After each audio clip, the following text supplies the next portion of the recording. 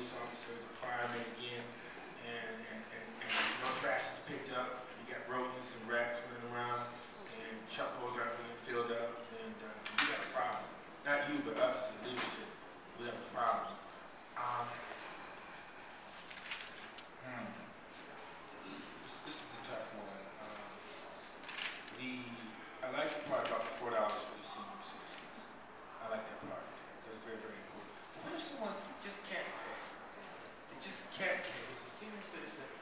Disabled person.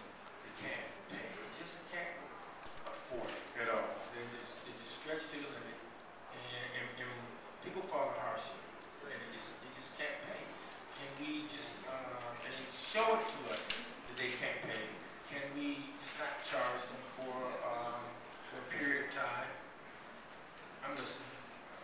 Uh, Mr. Chair, to the council, uh, there is currently no provision in this legislation, as we don't have when we impose fees for uh, uh, hardship.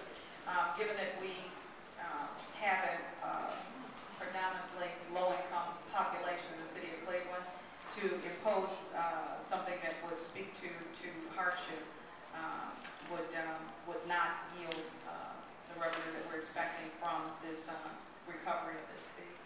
We four million, however, if, um, let's say if someone can predict that they can't even pay, pay their medication, okay, that's a hardship.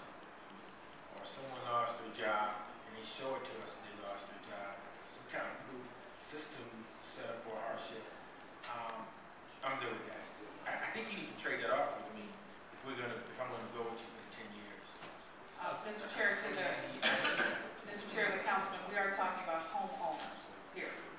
But We're not talking, we're- we're not talking about, uh, you know, seniors that are in senior buildings or um, in nursing homes. We're talking about people that own the property that they currently live in. So those individuals are currently paying all of the, um, the uh, utilities for those homes, and they're paying property taxes on those homes, they own those homes.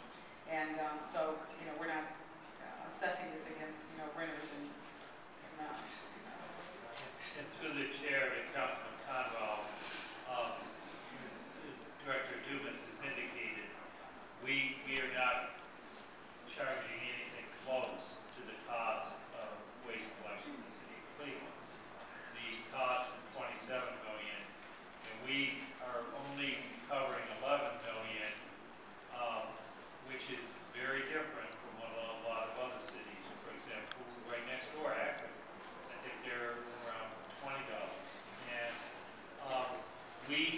set the fee as low as we could set it with it still being able to give us some help towards our budget.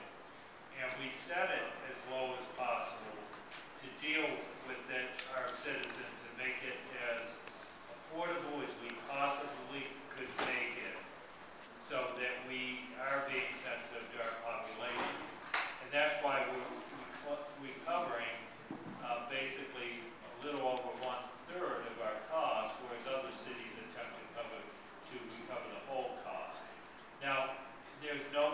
solution here.